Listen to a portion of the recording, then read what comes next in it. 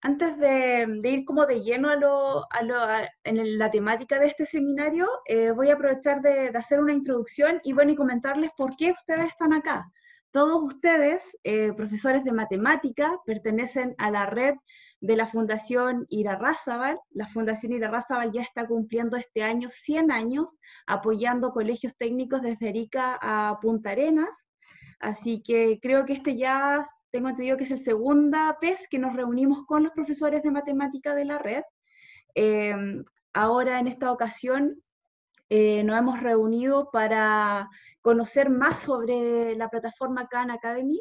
Em, la idea es como a raíz también de, lo, de, la, de, la, pandemia y de las clases a distancia, creemos que esta es una muy buena eh, herramienta que puede apoyar sus clases que puede complementar lo que ustedes están haciendo.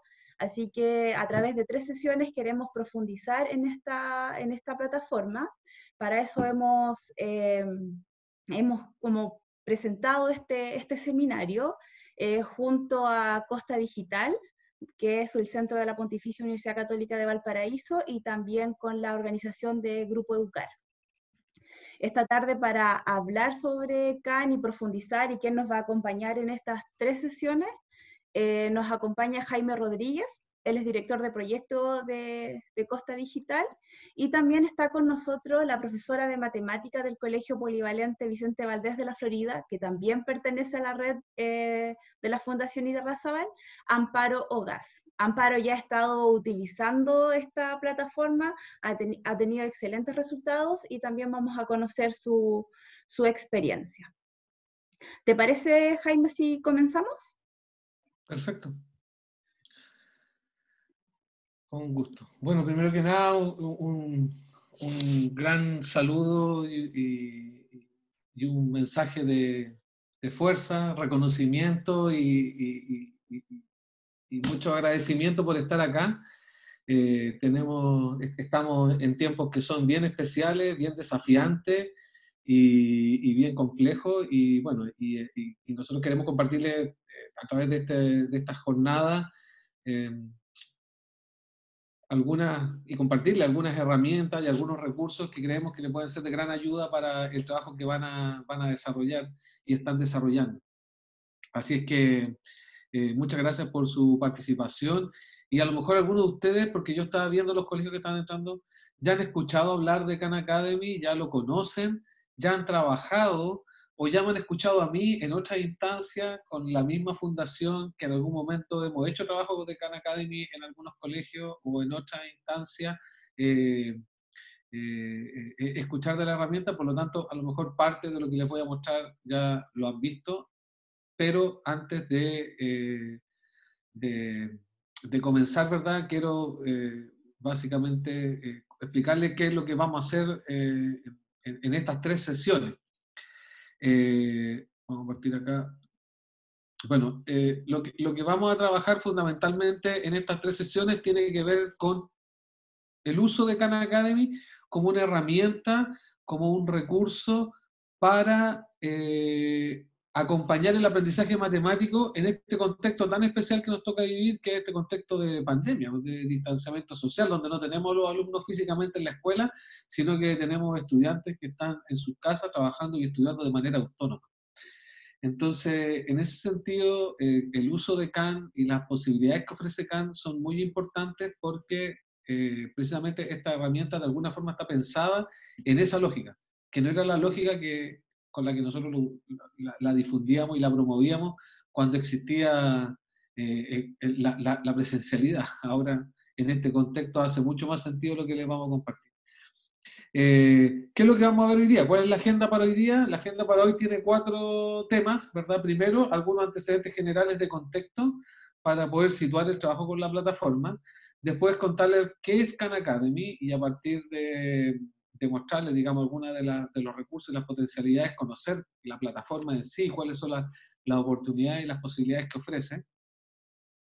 Eh, después compartir también algunos resultados y testimonios, por eso le agradezco mucho a Amparo que nos acompañó hoy día, porque ella es una profesora que ha estado trabajando ya por un par de años con Khan Academy, ha tenido buenos resultados eh, con el uso de la plataforma, pero eso no ha sido un proceso fácil y por lo tanto eh, le agradezco mucho que esté hoy día con nosotros para compartirnos las oportunidades que tiene la plataforma, pero también cuáles son las dificultades, los desafíos a los que hay que atender.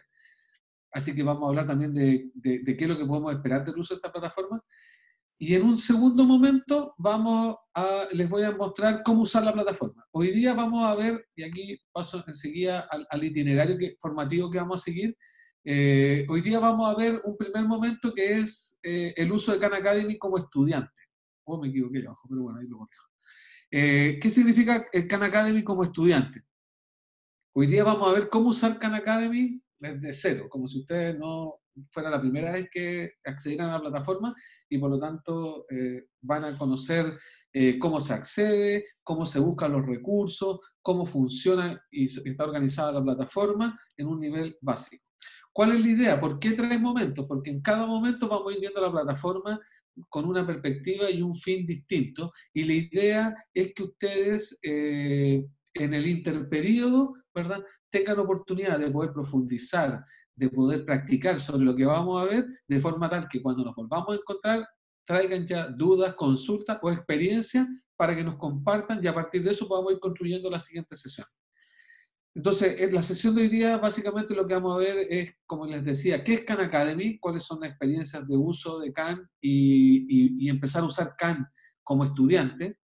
La próxima sesión, que el 4 de agosto, vamos a ver Khan Academy, pero como docente. Ahí yo me equivoqué, le puse como estudiante, pero en realidad es como docente vale decir, como profesor ahora, ¿cómo se usa Khan? ¿Qué posibilidades me ofrece? ¿Cómo se hace, cómo yo le puedo asignar actividades a mi estudiante? ¿O cómo puedo eh, hacerle seguimiento a lo que mis estudiantes están haciendo? ¿Cómo puedo evaluar usando Khan Academy?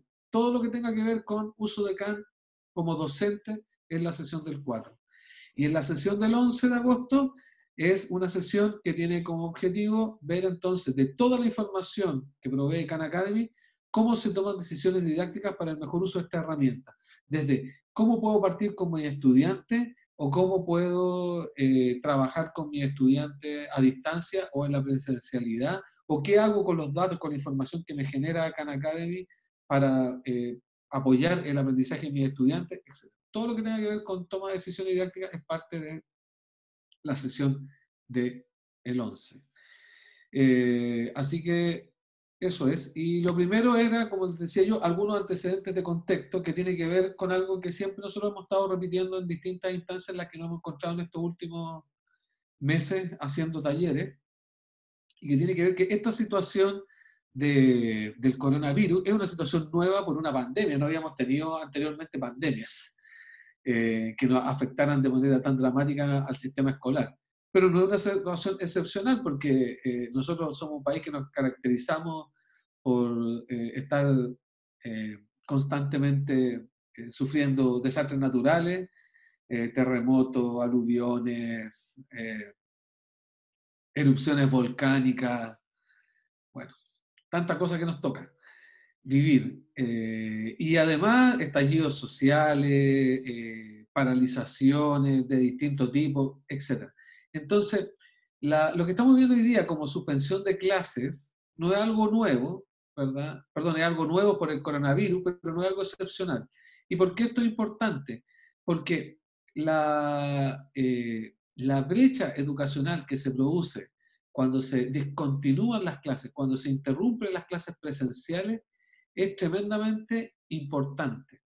Y esto ocurre, por ejemplo, de manera natural con las vacaciones, cuando eh, los alumnos se van en diciembre y vuelven en marzo, en marzo, de hecho, se han hecho mediciones y estudios, el alumno ha perdido más o menos un 25% de lo que aprendió el año anterior, de conocimiento respecto al año anterior, solamente por el hecho de haber interrumpido sus clases producto de sus vacaciones muy merecidas todas, pero que tiene un efecto. Entonces, cuando a ese periodo de discontinuidad natural, que son las vacaciones, uno le suma la suspensión de clases, le suma eh, la, eh, eh, por, por, por, distintas razones, le suma el tema... ¿Sí? Perdón que te interrumpa, ¿es posible ver la presentación más grande? Sí, sorry. Tenía la duda si estaba viendo grande o la estaban viendo como yo. Ahí sí. Vale. Ahí sí la están viendo bien, ¿verdad? Perfecto, ahí sí. Ok.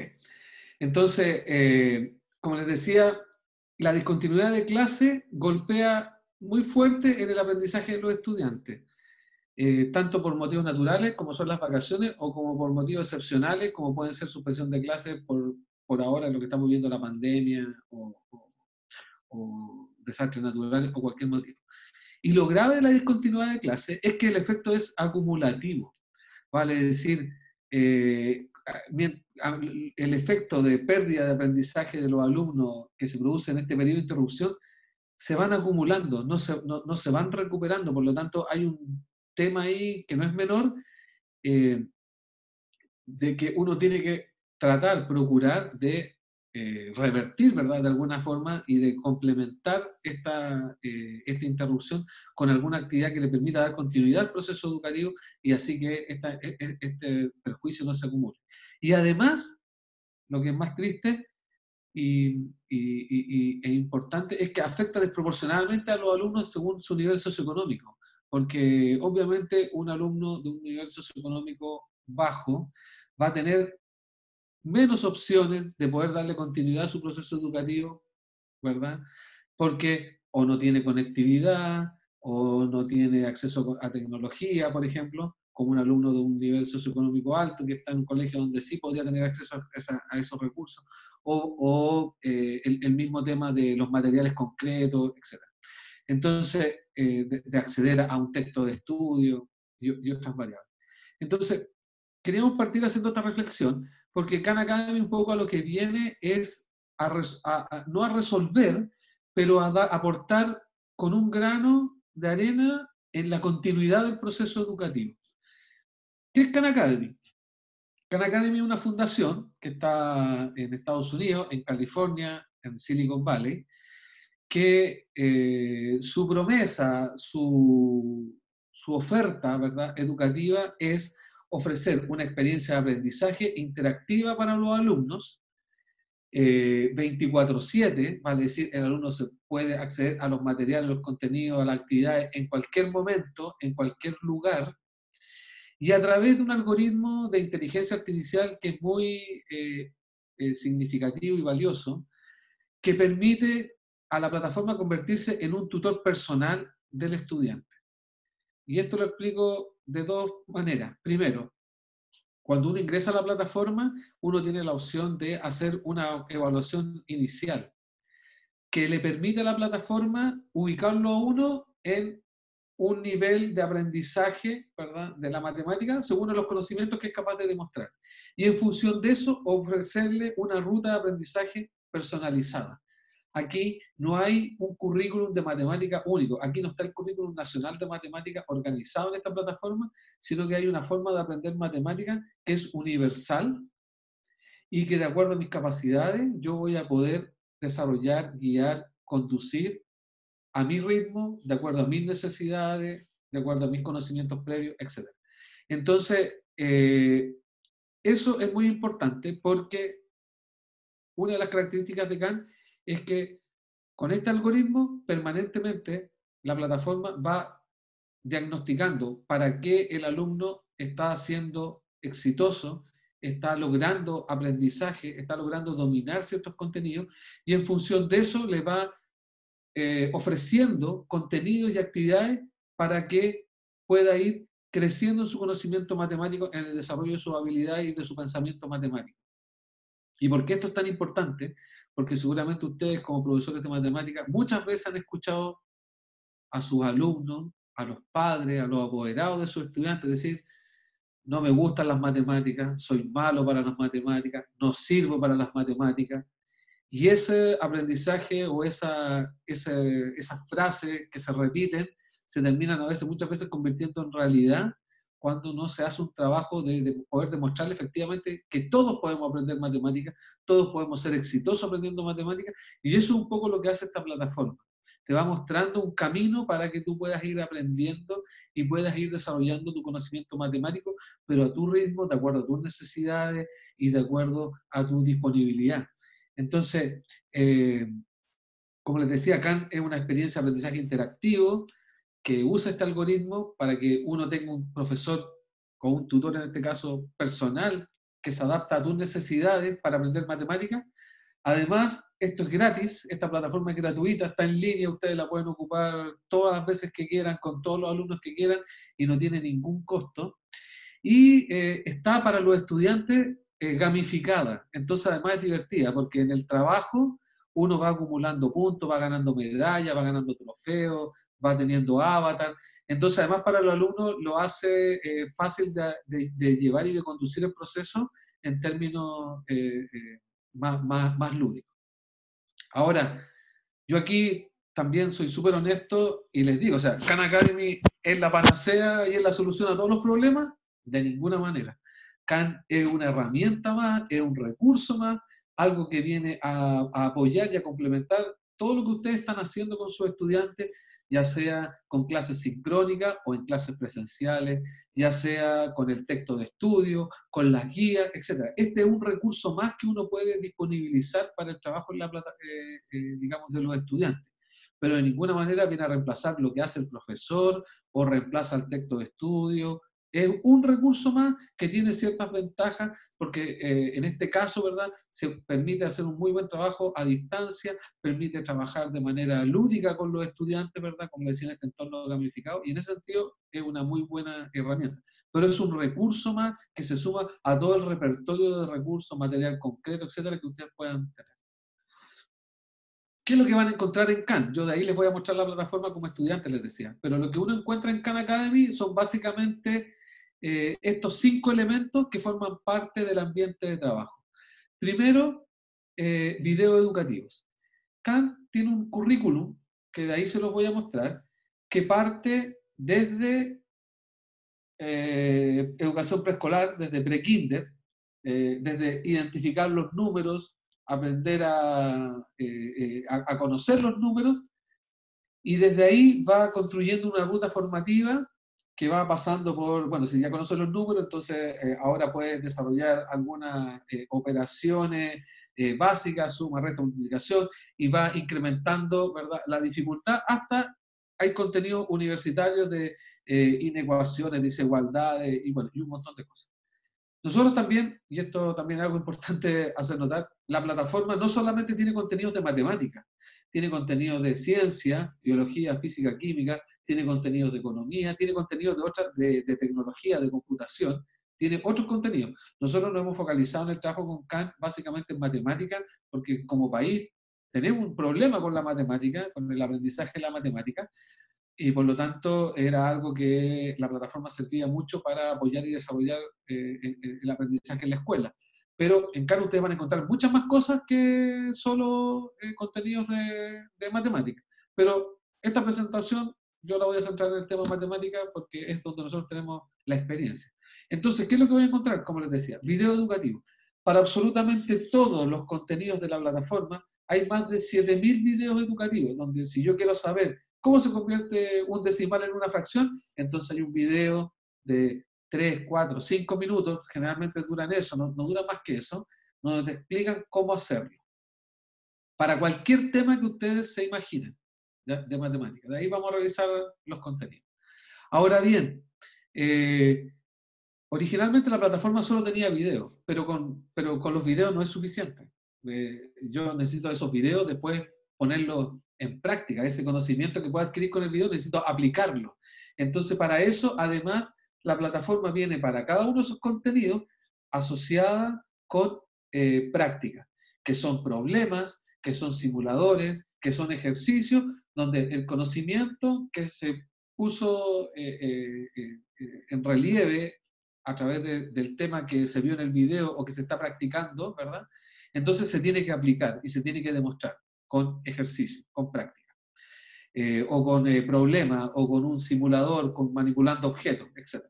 Entonces, eso es muy importante porque lo que vemos es que entonces la plataforma me ofrece la información, pero además me ofrece la práctica.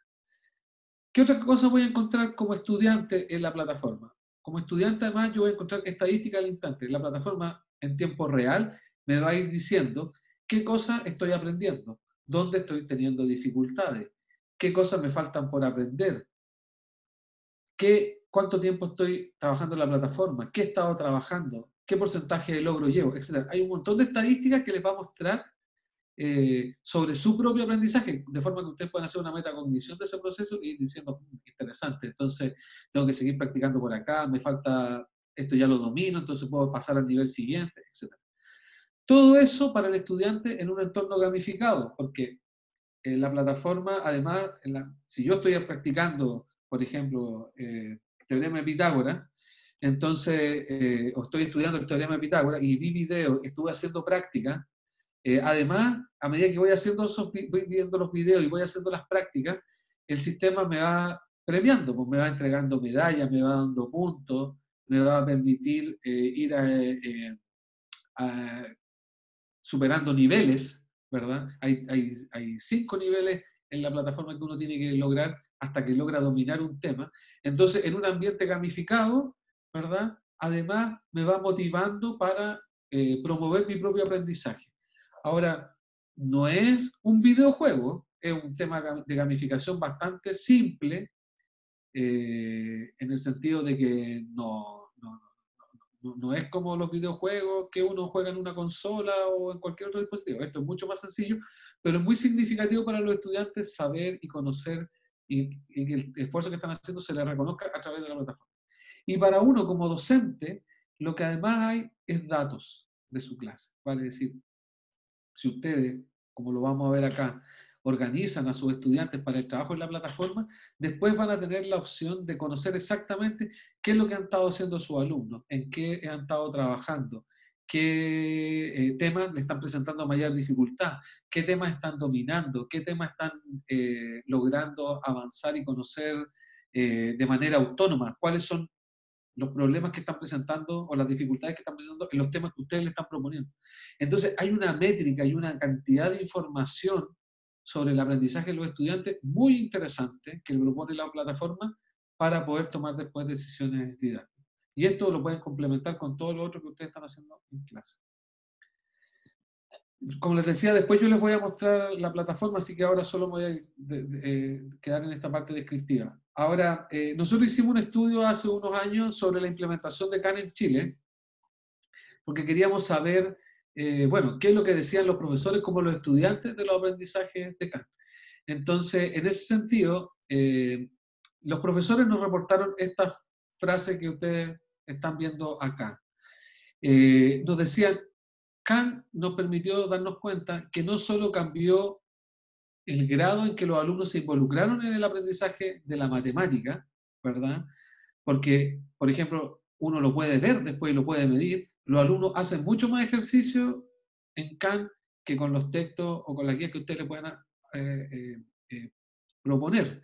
Hacen mucho más ejercicio que lo que ustedes le pidan, porque ellos empiezan a trabajar de manera autónoma. Y eso tiene una lógica que la vamos a ver enseguida.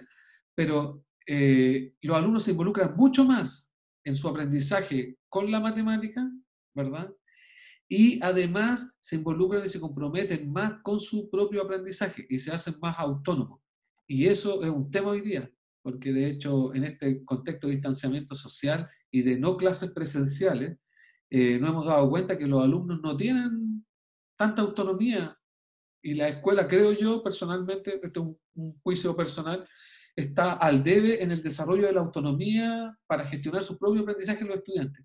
Y esta plataforma logra desarrollar eso, porque va conduciendo y va guiando al alumno en su proceso de aprendizaje de manera de desarrollar también la autonomía y le da la oportunidad de que él vaya aprendiendo lo que necesita, cuándo lo necesita, dónde lo necesita.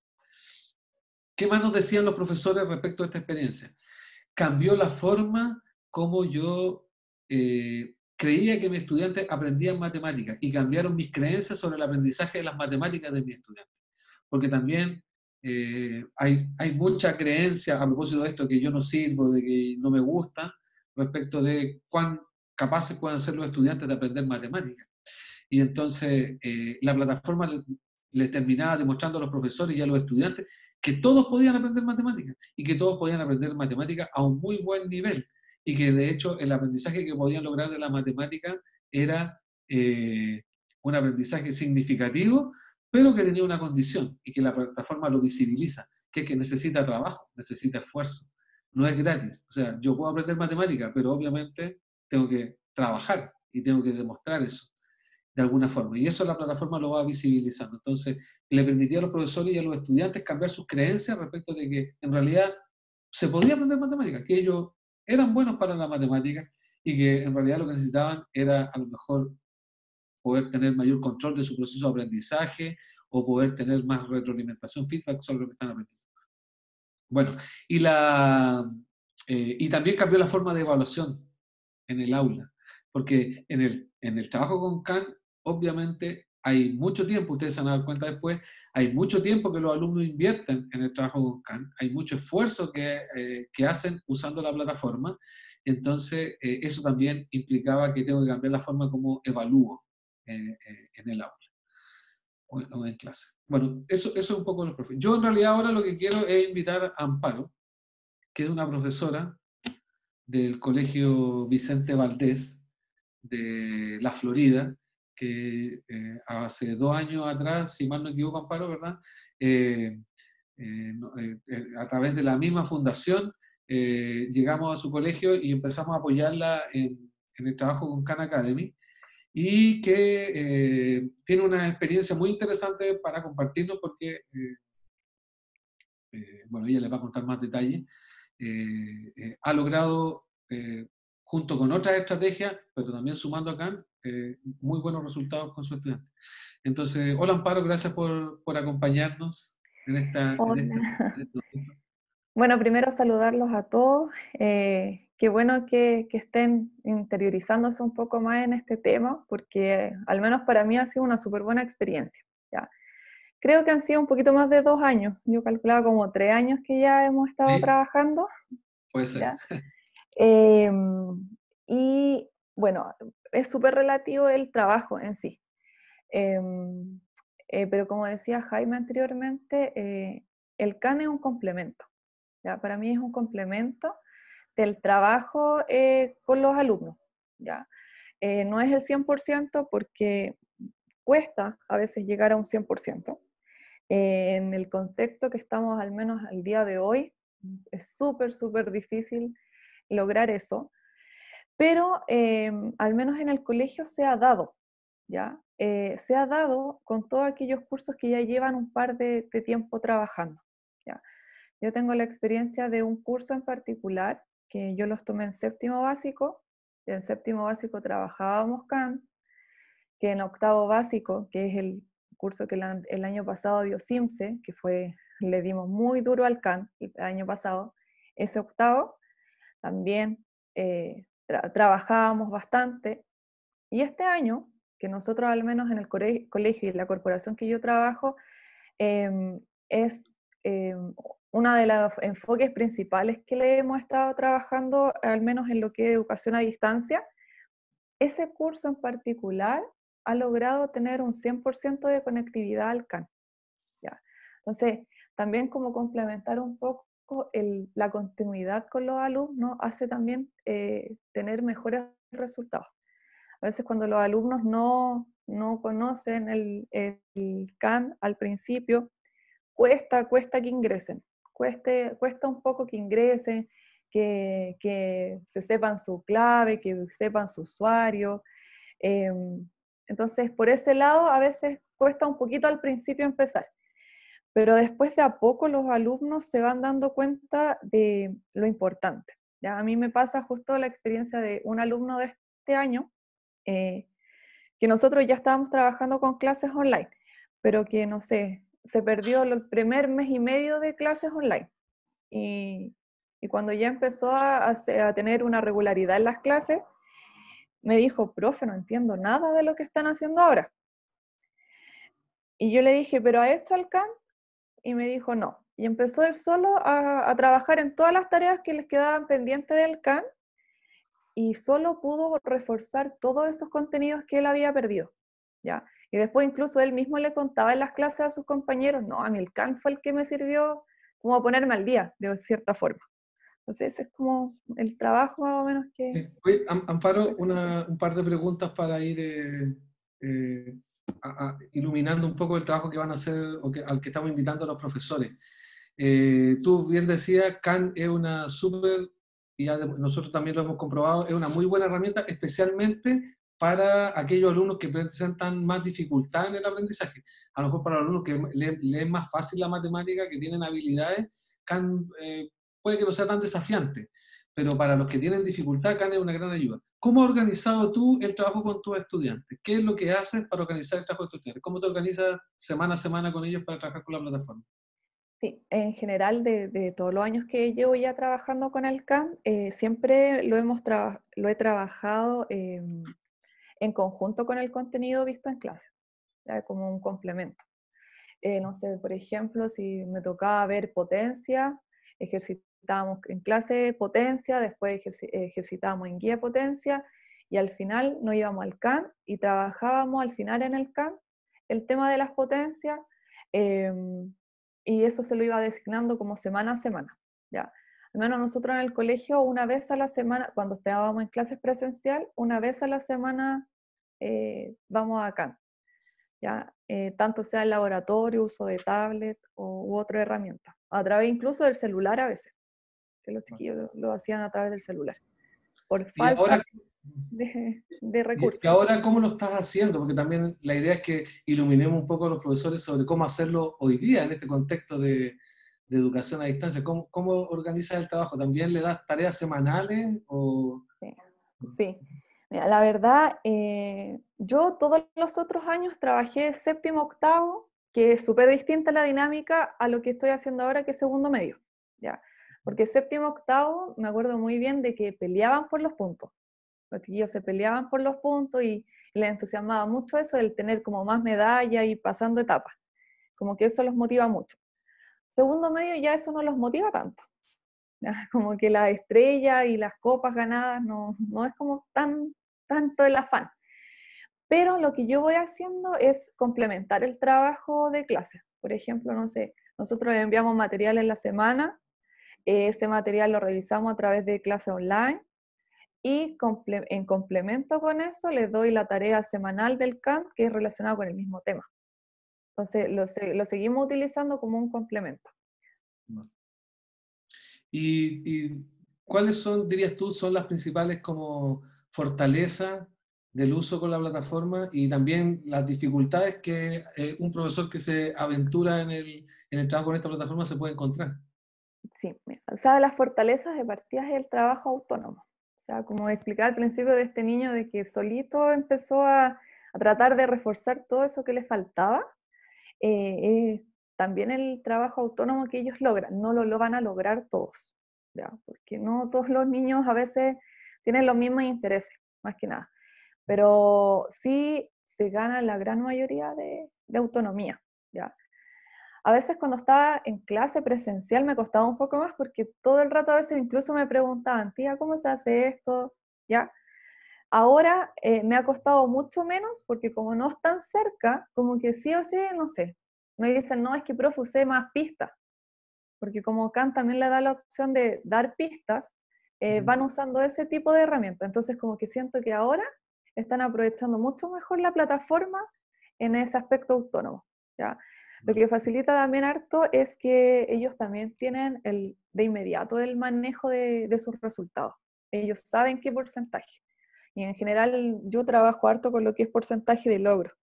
Entonces ellos siempre, siempre, por ejemplo, ya saben que sobre el 60 es bueno, 60% de logro, que es el porcentaje que también les das a ellos.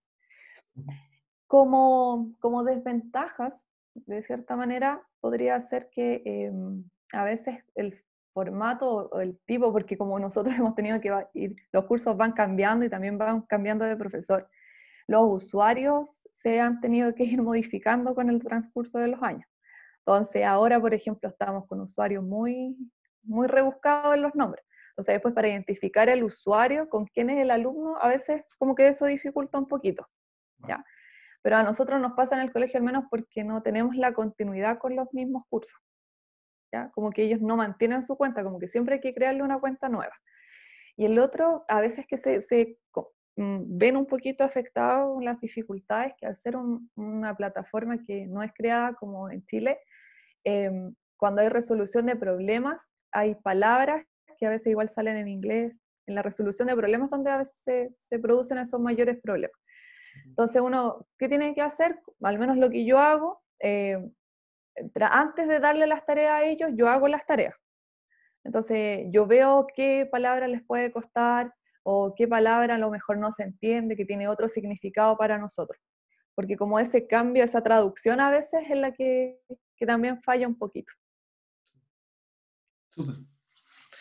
Gracias, Amparo, por compartirnos tu experiencia y, y, y, contarnos cómo ha sido este, este, este trabajo con, con Khan Academy durante estos años. Eh, bueno, yo simplemente para terminar y antes de mostrarle la plataforma, aquí está un poco lo que decía Amparo. Nosotros en Chile hemos eh, eh, identificado distintas formas de uso de la plataforma. En el caso de, de lo que comentaba Amparo, ¿verdad? Por ejemplo, una forma muy común es que los profesores la usan como complemento de la clase. Para decir, yo como profesor de matemáticas sigo haciendo mi clase como siempre, Solo que ahora, ¿verdad? Al finalizar la clase, le digo a los alumnos, si quieren seguir aprendiendo, si quieren seguir practicando, si quieren seguir profundizando sobre este tema, en Khan Academy, en estas actividades, entonces ustedes pueden ir y pueden seguir aprendiendo. Y eso es usarlo como un complemento. Lo que estamos viviendo hoy día es un poco dar vuelta a la clase, ¿verdad? Que era una estrategia que también algunos profesores en la presencialidad hacían. Y en el fondo era darle a los alumnos videos y actividades para que ellos hicieran en su casa de manera autónoma y en la clase revisar, ¿verdad? Y eh, analizar esas, esas prácticas de forma de corregir conceptos erróneos, entregar información que no está cubierta por la plataforma, etc. Entonces, eh, en la clase invertida, ¿verdad? Es un poco este concepto de dar vuelta a la clase en el sentido de que el alumno estudia en su casa y en el colegio voy y aplico concretamente algún concepto particular o aclaro algo que no entendí. Eh, en este caso que es un poco lo que estamos viviendo todos, de que los alumnos estén trabajando en sus casas y por lo tanto un medio, este es un súper buen recurso medio para apoyarlos en el trabajo en su casa. Eh, también lo que mencionaba Amparo, que en su colegio, y, y, es lo que nosotros también recomendamos, y en la mayoría de los colegios lo que hemos trabajado se hace, es el laboratorio de aprendizaje. Vale decir, en mi colegio hay 6, 7, 8 horas de matemática a la semana, bueno, una hora a la semana de CAN les va a permitir a ustedes tener buenos resultados con sus estudiantes en la presencialidad. En la virtualidad es, eh, en el fondo, asignarle por lo menos una vez a la semana una actividad de CAN para que el alumno desarrolle en la plataforma. Por lo general, ustedes van a encontrar que los alumnos hacen mucho más de lo que eh, la plataforma o, el tiempo ustedes le, le, asignan. Pero, pero asegurar toda la semana un trabajo en la plataforma de manera por decirlo así, obligatoria, es importante para generar el hábito, ¿verdad? Y esta autonomía a la que se referían para que yo también creo que es una de las cosas importantes que se logra con el trabajo con Khan Bueno, y otros colegios usaban CAN para talleres de nivelación, otros para preparar evaluaciones, etc. Que son distintas estrategias para el uso de, de la herramienta. Bueno, aquí finalmente son los resultados de, los estudios que hemos hecho respecto a los estudiantes. Y a mí siempre me gusta mucho mostrar esta diapositiva porque en el fondo acá lo que tenemos es eh, qué nos dicen los niños, los jóvenes, las niñas sobre el uso de Khan Academy. Aquí un dato importante que siempre me preguntan los profesores. ¿Para quién sirve Khan Academy? Khan Academy se puede usar desde preescolar hasta cuarto medio. Se puede ocupar en cualquier nivel educativo. No obstante, la recomendación que nosotros hacemos siempre es que, donde los mejores resultados o donde mejor se da el trabajo con CAN es entre quinto y segundo medio. Entre cuarto y segundo medio. ¿Por qué? Porque eh, los más pequeñitos tienen dificultades con eh, el acceso, porque no manejan a lo mejor alguna habilidad lectoescritora, entonces les va a costar leer los, los problemas, o le va a costar entender los problemas, ¿verdad? O le va a costar ingresar los datos de su usuario, de su contraseña, etc. Y los más grandes, los de tercero, cuarto, porque en realidad para ellos eh, eh, el foco, la preocupación probablemente esté puesta en otros temas, entonces nos cuesta más que se, eh, y, manejan y usan otros recursos, por lo tanto cuesta más que trabajen con CAN.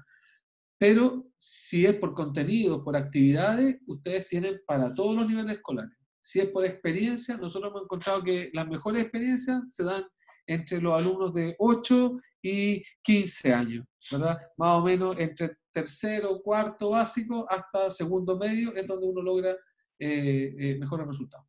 Y cuando me refiero a mejores resultados, me refiero a este círculo virtuoso que nosotros hemos identificando en el trabajo con la plataforma. Primero, más compromiso con el aprendizaje.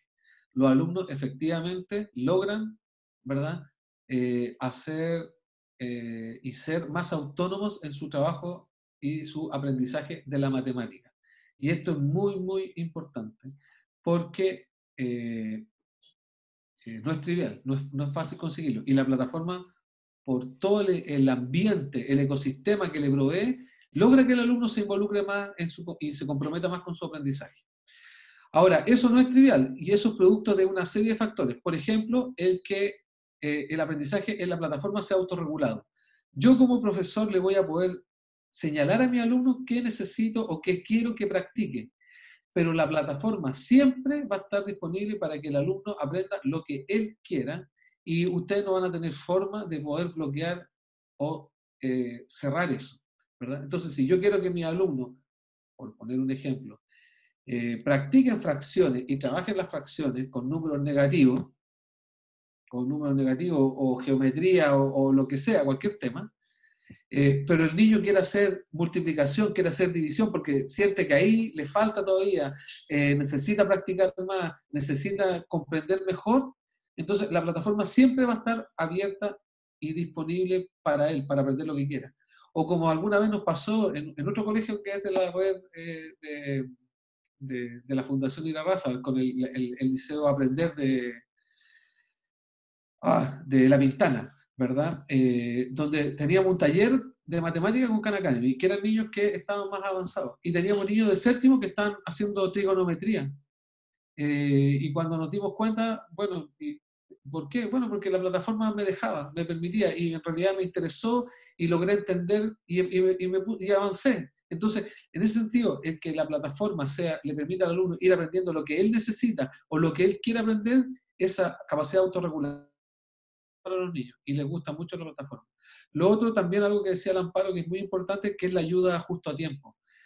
Todos los problemas, todos los ejercicios que están en la plataforma están resueltos, pero no están resueltos con la solución del problema, con la respuesta correcta, sino que están resueltos paso a paso. Entonces, ¿qué pasa? Si yo no sé hacer algo, el sistema no me dice el resultado es tanto, sino que el sistema me dice, mira, primero tienes que hacer esto, después tienes que hacer esto, y después esto, esto, para poder llegar recién al resultado. Te muestra paso a paso cómo resolver el problema. Y los niños valoran mucho eso, esa ayuda, ¿verdad? Justo a tiempo, que son las pistas, ¿verdad? Que le permiten entender en qué se equivocaron y por lo tanto hacer un proceso de metacognición respecto de cómo estoy aprendiendo, qué es lo que tengo que aprender, en qué me estoy equivocando, ellos también lo valoran muchísimo.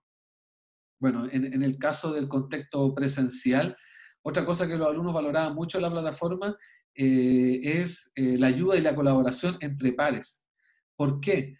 Porque yo puedo tener a todo mi curso, y de ahí lo vamos a ver, trabajando en Khan Academy en un mismo tema. ¿ya?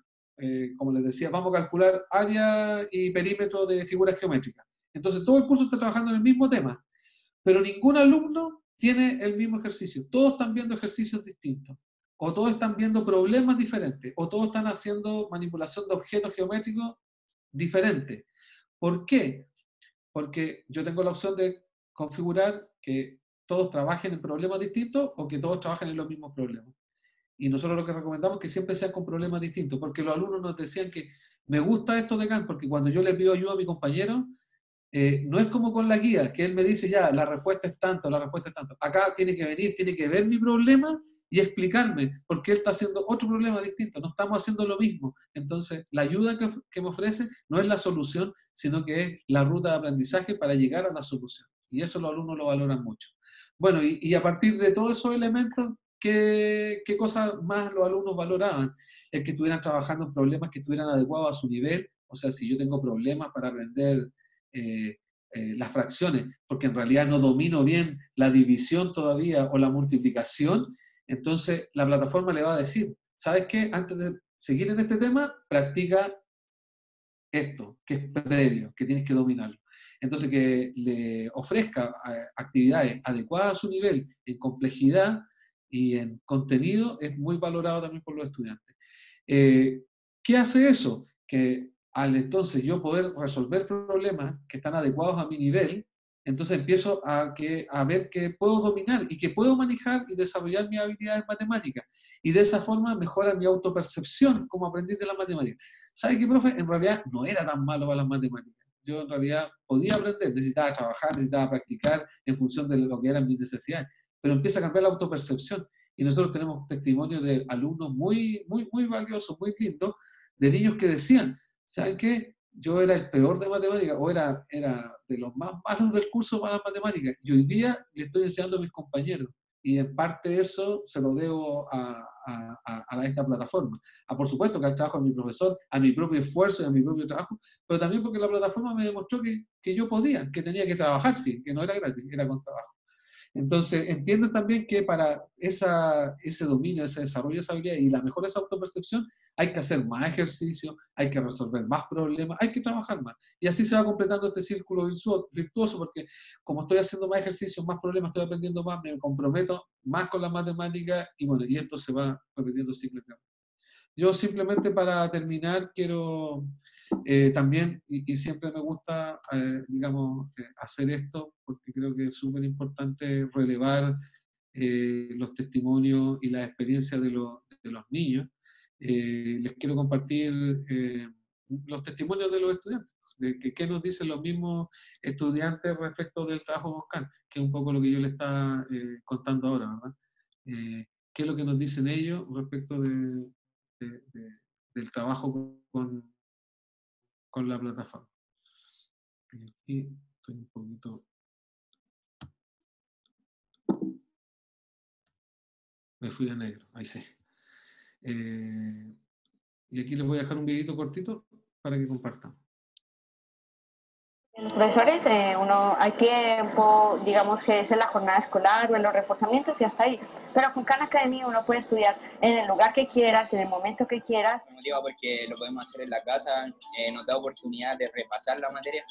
Por ejemplo, si no lo tenemos tan claro, lo tenemos a través de la tecnología, podemos buscar videos en YouTube, podemos repasar la materia a través de, de, canal. Yo opino que lo mejor de esta plataforma es que si tú no entendiste en la clase, eh, lo puedes volver a pasar una y otra vez sin cansarte. Y así poder entender mejor y luego que te vaya mejor. En las clases de matemática, aparte de la ayuda de mi profesor, me ayudó Khan Academy porque antes no me iba muy bien, digamos, en matemáticas, pero esto me ha ido ayudando, viendo que, que me caigo, por ejemplo, en, en la suma, por ejemplo, y del número negativo, y eso ya ido más esforzando más en eso que en otras cosas, que me ha servido mucho.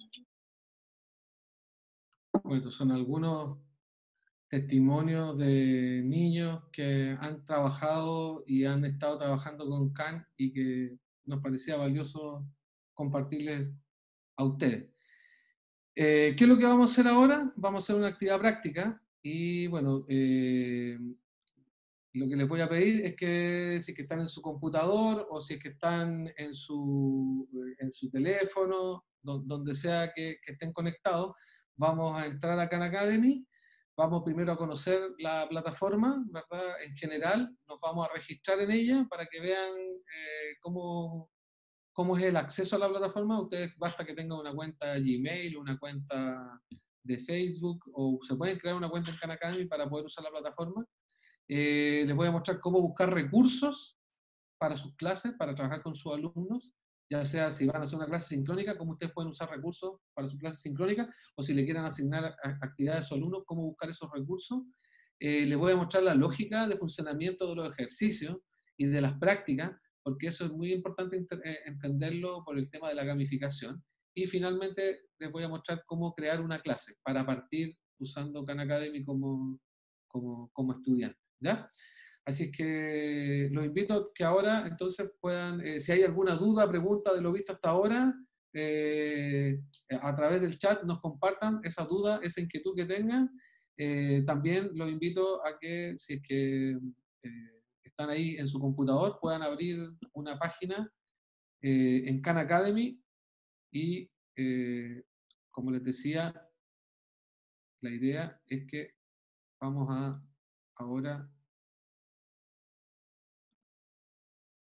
empezar a trabajar en la plataforma. Y esta es eh, la, pantalla donde van a acceder para eh, la plataforma. La dirección es valga la redundancia, ahí está, es.canacademy.org. Esa es la URL, esa es la dirección, se las voy a dejar aquí en el chat anotada para que ustedes puedan eh, verla y puedan eh, registrarla, ¿verdad? O, creo que acá tengo, ah, aquí tengo una opción. Bien, perfecto, entonces vamos a poner aquí es.academy.org. Esa es la dirección a la cual, la URL a la cual pueden acceder para, para poder eh, eh, ver el, el, material, sino también, como les digo, ahí en eh, el chat les voy a colocar entonces. Sí, ahí me estaban preguntando, ¿es lo mismo entrar a la app de Kant? Sí, es lo mismo. sirve igualmente si entran a la app o entran a través de, del sitio de, de Khan Academy. Hay algunas pequeñas eh, diferencias y pequeñas, eh, eh, ¿cómo se dice? cuestiones visuales que lo hacen un poco distinto, pero, pero van a encontrar la misma información. Academy.org. Ahí está. Ahí les dejé en el chat el link para que lo puedan abrir directamente y puedan trabajar. Ah, gracias, Angélica. No, te, me adelantaste. gracias por ponerlo. Bueno, lo primero es que les voy a mostrar un poco cómo funciona la, eh, como les decía, la plataforma desde, eh, en general, ¿ya? Esta es la plataforma de Khan Academy. ¿Qué es, lo que, ¿Qué es lo que tengo en la plataforma? Tengo un menú acá arriba en la parte superior donde dice cursos. Em, la, la, conceptualización no es la misma que usamos nosotros, pero, pero para que ustedes entiendan, en fondo, el curso se refiere a todos los contenidos que hay en la plataforma. Entonces, si aquí ustedes se fijan, tienen contenidos de matemáticas, y aquí están todos los contenidos de matemáticas que no están organizados por eh, curricularmente, ¿verdad? Por, los cursos propiamente tales, sino que están organizados por temas. Entonces, eh, por decirlo de alguna forma, Khan Academy tiene una ruta lógica única para aprender matemáticas. Y dice, si tú quieres aprender matemáticas, lo que primero que tiene que aprender uno son matemáticas elementales, a identificar los números, a contar, operaciones básicas, etc. Después, uno, si uno maneja eso, puede aprender cosas de aritmética, suma, resta, multiplicación, división, etc. Si yo manejo eso, puedo aprender álgebra y álgebra en distintos niveles, ¿verdad? De profundidad, Puedo eh, también ir aprendiendo cosas de geometría, de trigonometría, de precálculo, de probabilidad y estadística, y así sucesivamente hasta que ustedes logran cubrir todo el currículum de matemáticas, pero en una ruta que tiene que ver con eh, el, aprendizaje genético. De ahí les voy a mostrar un poquito más en detalle cada una de esas secciones.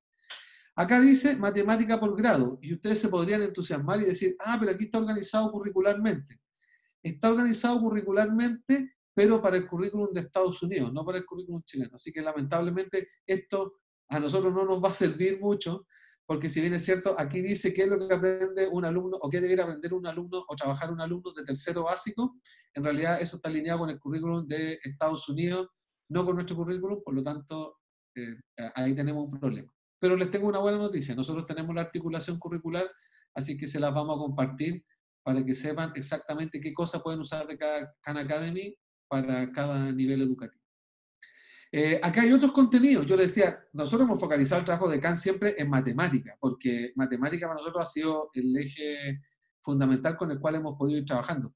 Pero si yo hago clases de física, yo soy profe de biología, de química, aquí hay materiales para poder trabajar con Khan Academy en estas asignaturas de física, de química, de biología, y con la misma lógica de la matemática, de economía, ¿verdad? Si así fuera, e incluso de tecnología o de computación, si es que eh, están, ah, eh, trabajan en computación. Entonces, el tema de Khan es que acá, ¿verdad? Como les decía, en la plataforma, en la interfaz, en cursos, ustedes van a encontrar todos los contenidos de la plataforma. Y esto se los menciono porque eh, en realidad uno puede trabajar con Khan Academy sin registrarse no es necesario estar registrado. Yo podría usar los recursos sin registrarme. Pero ¿cuál es el problema? Que cuando uso CAN sin registrarme, pierdo automáticamente toda la historia todo el registro de lo que yo estoy aprendiendo y estoy haciendo. Entonces, la recomendación siempre es registrarse para usar Khan Academy, cosa que poder tener después el itinerario, la trayectoria de lo que el alumno estuvo aprendiendo y estuvo haciendo. Entonces, tenemos los cursos, que son los contenidos, tenemos un menú buscar, porque en realidad yo lo que necesito es aprender de fracciones. Entonces aquí yo escribo lo que ando buscando y la plataforma me va a decir todo lo que hay sobre ese contenido. Mire, ¿qué necesita aprender? Dividir fracciones, multiplicar fracciones, necesita aprender fracciones en general, necesita Aquí está todo lo que pueden aprender sobre fracciones, ¿ya? Y la iconografía les muestra si es que esto es un ejercicio, si es que aparece un lápiz, o es un video, o es una guía, dependiendo eh, el contenido que ustedes quieran. De ahí yo les voy a mostrar más sobre esto, pero aquí en buscar ustedes colocan el tema que necesitan, eh, Pitágoras, y entonces aquí teorema de Pitágoras, ¿verdad? Y aquí le dice qué hay para aprender sobre el teorema de Pitágoras o lo que usted eh, necesite, ¿ya? Eh, también algo importante, que esto siempre es importante declararlo.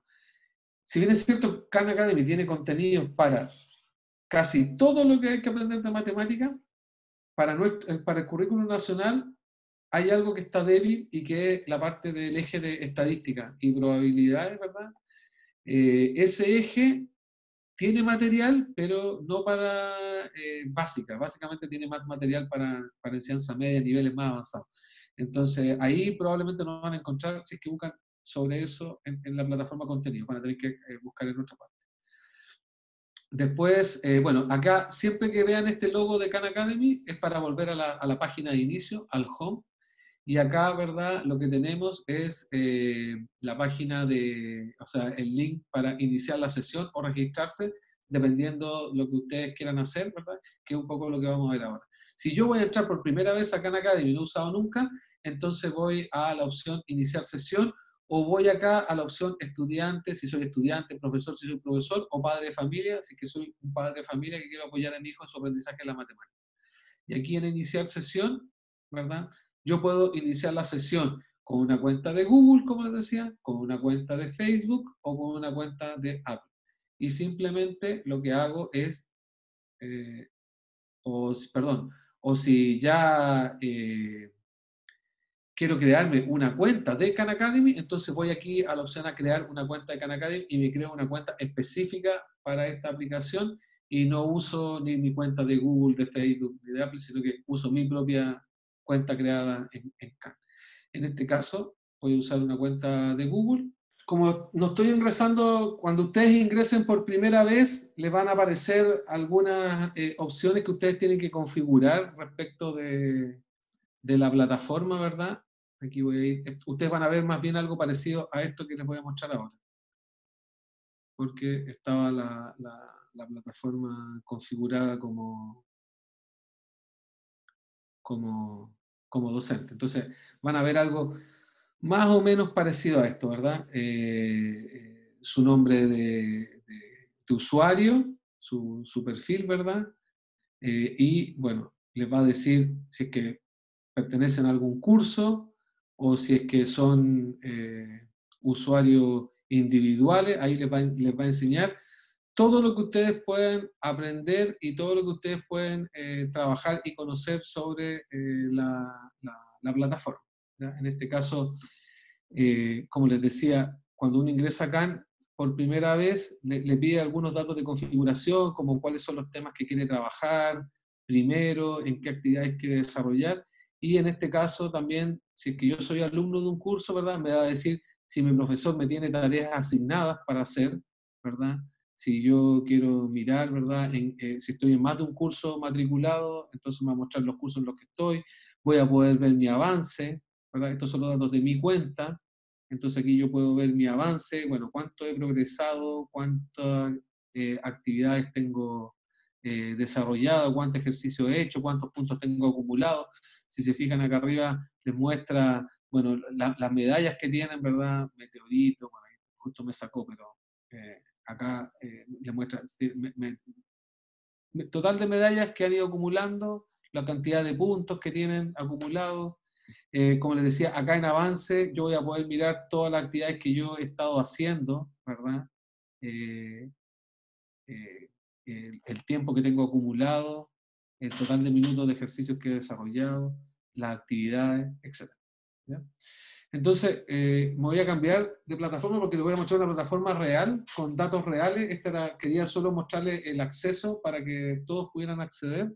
Ahora les voy a mostrar una plataforma con datos reales para que podamos ir haciendo algunas prácticas. Eh, no sé si hay alguna duda, consulta hasta ahora. Mm, Sí, Jaime. Sí. Eh, Daniel Reyes preguntaba eh, por qué no se puede elegir más de dos cursos.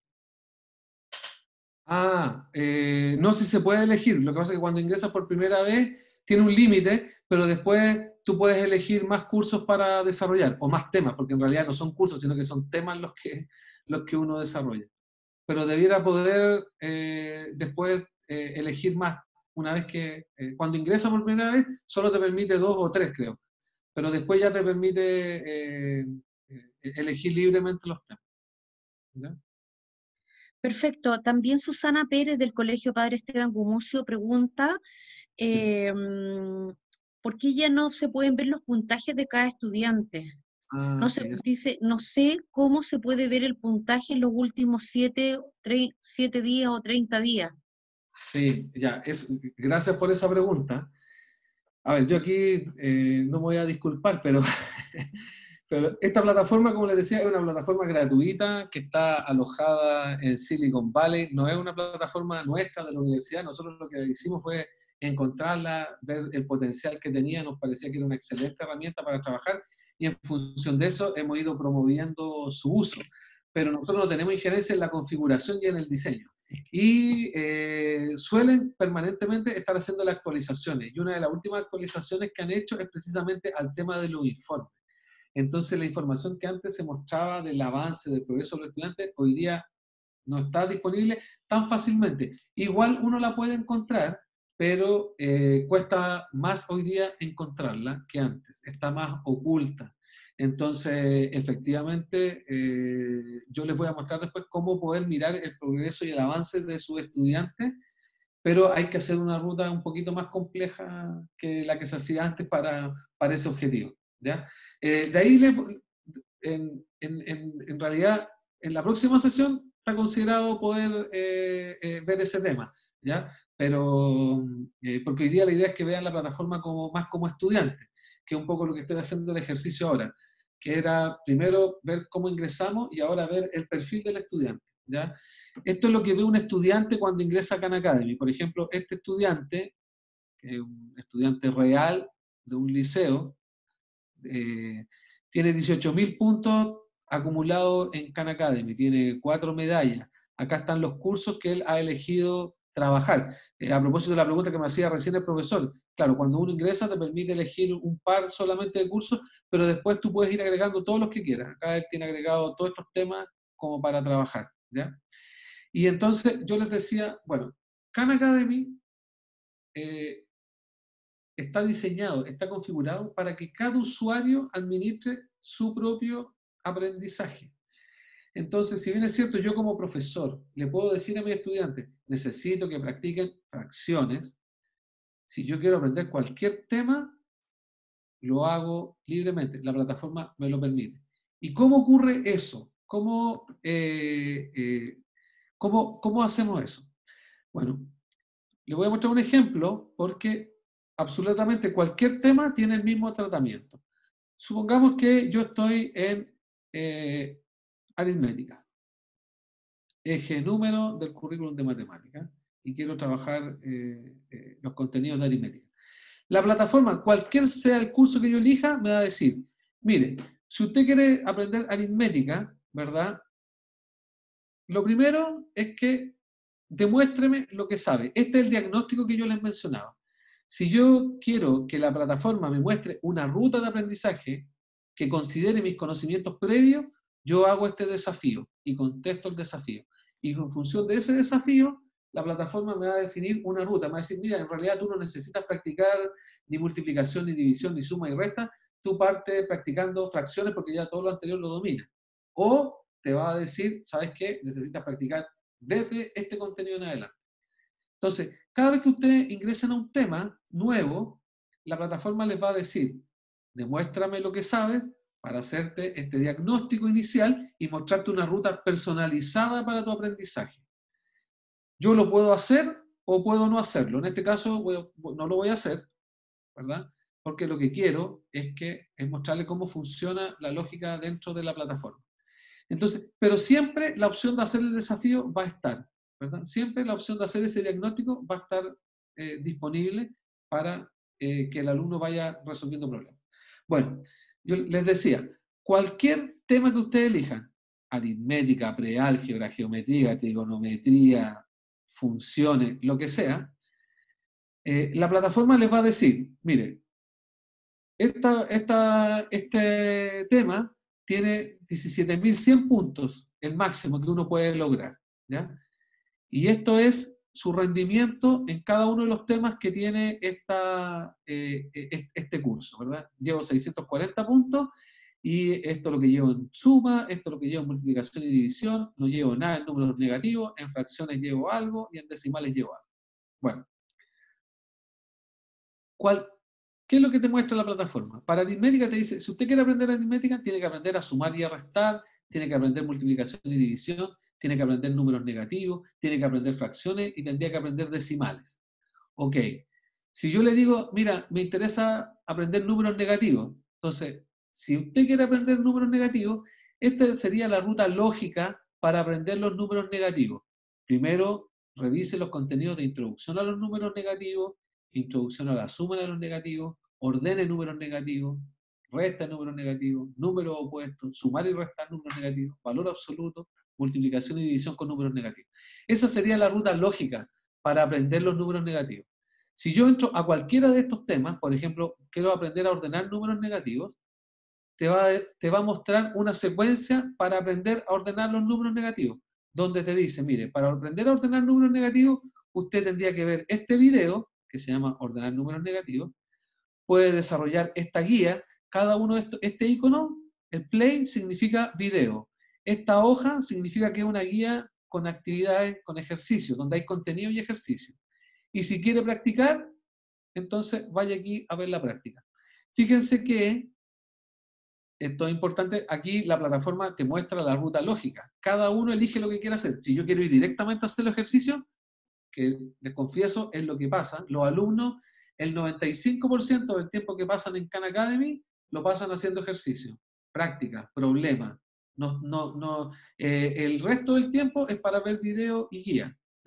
Básicamente lo que más les gusta a los alumnos eh, son las prácticas.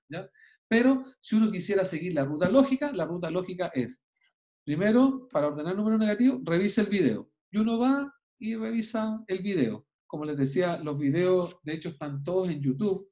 Son videos que, que duran, dependiendo el tema, pueden durar 5 minutos, 3 minutos, 4 minutos. Hay otros que duran un poquito más, pero dependiendo del tema, ¿verdad? Dependiendo de la profundidad. Entonces, acá si se fijan, hay un video, este video dura... Cinco números, y la idea es ordenarlo. Ahí está. Y ahí va explicando eh, un video con la explicación.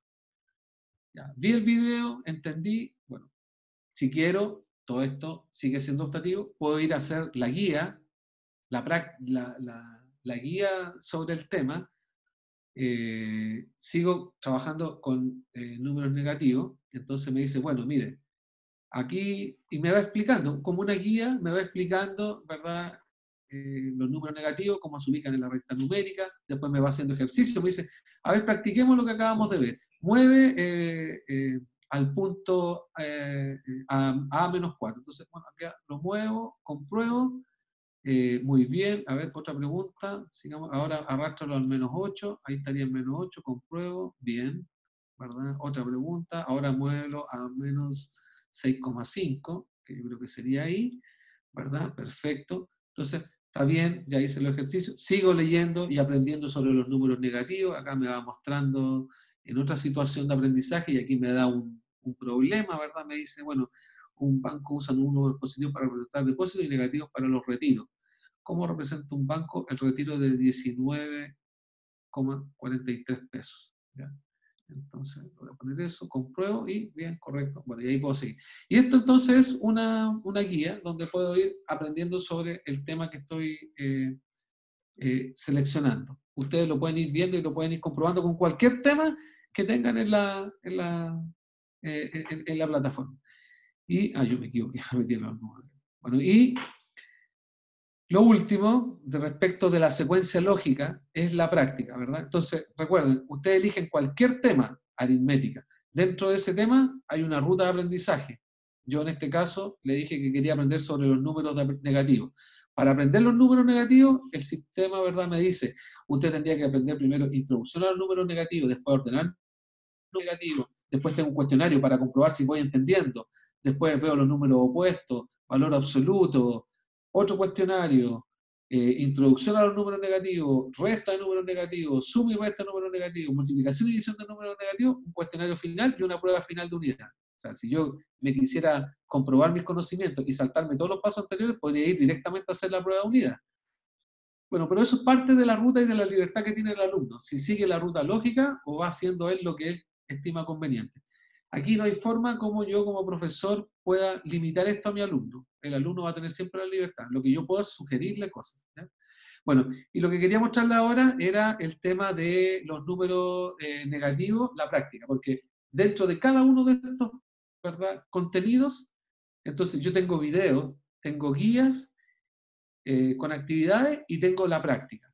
Y la práctica, esto es lo que más le gusta a los estudiantes, por eso me detengo aquí un poquito más, y es lo más que le gusta a los estudiantes por una razón bien sencilla, porque aquí es donde entra la gamificación.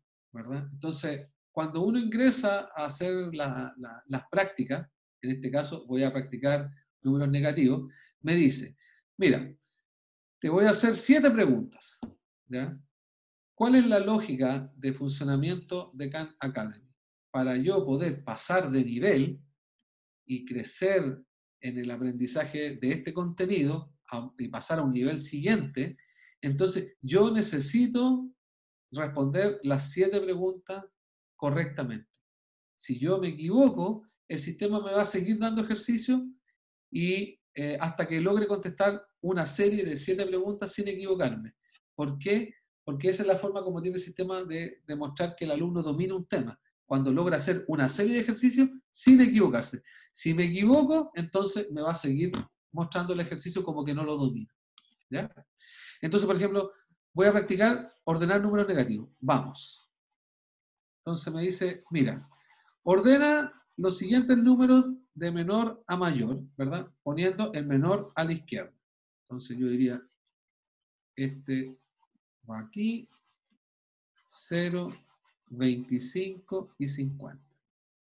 ¿Ya? Y entonces le digo comprobar y perfecto, buen trabajo. Si se fijan acá abajo me dice, voy a, teniendo 5 de las 7 buenas, voy a estar en el nivel familiar. Ya voy a estar familiarizado con el tema. No lo domino, pero estoy familiarizado con el tema. Si logro las 7 correctas, tengo dominado el tema. Voy a la siguiente. Me dice, ordena de menor a mayor.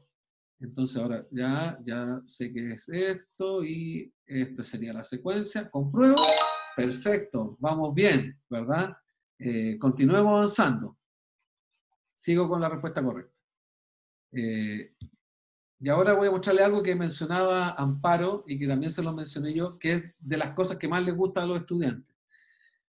No, aquí no sé cómo hacer. Supongamos que yo no supiera cómo resolver este problema, esta pregunta que me pide ordenar de menor a mayor estos números negativos. Entonces, yo tengo dos opciones. Puedo ver un video o puedo ver una, pedir una pista, ¿ya? Para resolver este problema. Aquí está el video que yo voy a poder mirar con, el ejercicio donde me va a mostrar cómo puedo resolver este ejercicio, ¿verdad? O las pistas, que es la resolución del problema, pero paso a paso. Por cada, obviamente, si yo ya pedí ayuda, ver video o pista, ya el sistema me va a mostrar como que eh, esa respuesta está mala. No me la va a mostrar como buena. Entonces, aquí la primera pista, ¿verdad? Eh, me dice, bueno, aproximemos estos números en la recta numérica, ¿verdad? Y después, otra pista, entonces el orden quedaría de esta, de esta manera.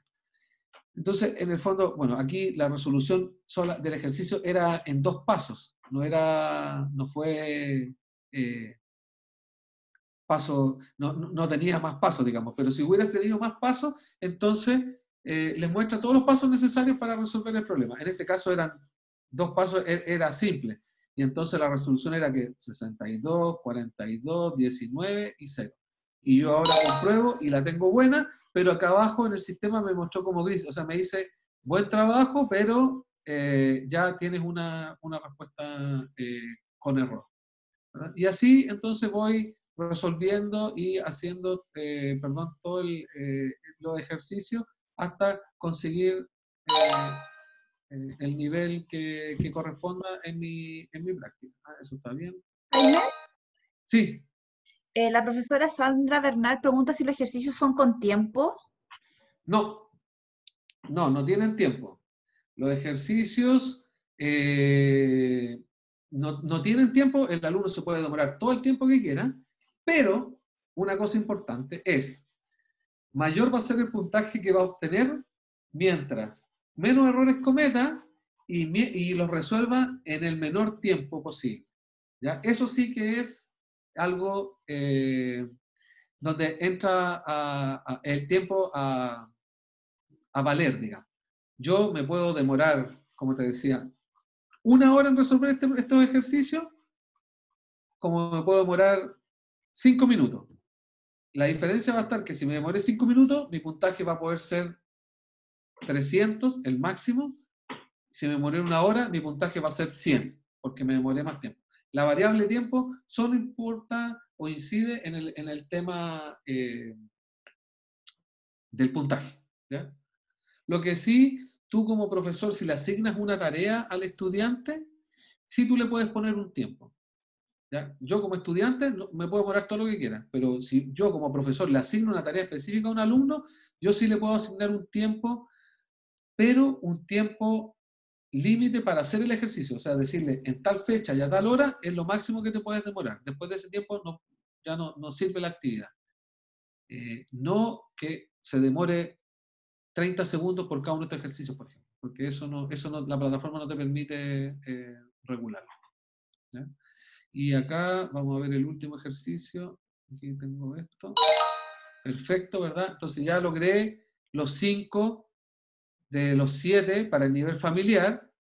Ya obtuve 50 de los 100 puntos del dominio de la habilidad.